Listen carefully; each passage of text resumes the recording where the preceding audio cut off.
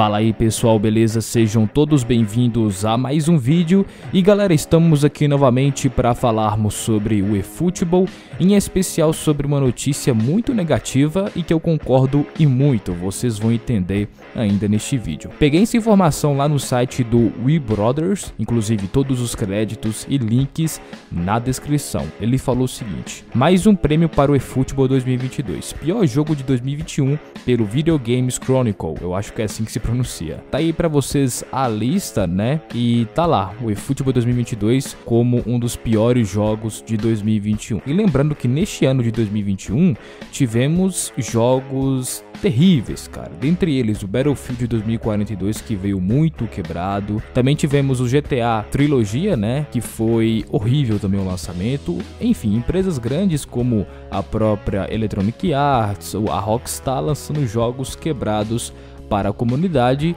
Então você pensa assim: bom, é só fazer um jogo minimamente decente para não figurar dentre os piores jogos de 2021 e superar essas duas franquias, por exemplo. E não, cara. A Konami conseguiu fazer algo muito pior. Eu fico pensando, cara, no dia que eles estavam desenvolvendo o jogo, né, da parte do design, da parte de gameplay, as ideias que eles colocaram em prática. Tudo no eFootball, aliás, nem tudo, né? Mas 99% das coisas são terríveis. Você inclui a gameplay, o próprio design, né, o menu, a coloração, enfim, é uma coisa terrível, cara. Parece que eles tiveram a intenção mesmo de acabar com a franquia do PES e não reinventar a franquia, né? Cara, isso é muito triste e também lembrando que o eFootball 2022, até o momento que estou gravando esse vídeo, foi o pior lançamento da história da Steam, com avaliações extremamente negativas, cara. Então, o eFootball, a franquia do PES, está no seu pior momento da história, eu diria. Pior, muito pior, cara, mas muito pior mesmo em relação ao PES 2014 e com toda razão. Quem diria que a gente teria um episódio muito pior em relação ao, ao lançamento do PES 2014. Sinceramente, eu acho que eles vão recuperar um pouco de mercado, um pouco de credibilidade, porque o jogo nos próximos meses, pro... nos próximos anos, vai melhorar. Com certeza isso vai acontecer, cara, porque essa crítica negativa, essa repercussão, lembrando também que eles têm que cumprir contrato, isso vai fazer com que o jogo vai melhorar gradativamente. Mas foi um início assim com um pé esquerdo enorme, cara. Foi horrível seria muito melhor eles terem adiado isso há muito tempo atrás.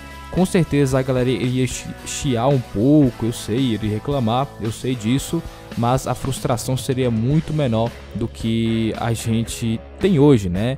De ter um jogo totalmente quebrado e com as expectativas lá embaixo em relação às próximas atualizações. A confiança que a comunidade tem em relação a Konami é zero e não sei o que vai acontecer nos próximos meses, mas sei lá, cara, eu acho que o jogo sim vai melhorar, assim como eu falei anteriormente, né? Porque tem muita pressão, tem contrato, a repercussão foi enorme e eles precisam recuperar muita grana ainda. Ok? Essa foi a notícia. Espero sinceramente que vocês tenham gostado ou não, né? Porque essa notícia não é nada boa para a Konami em si.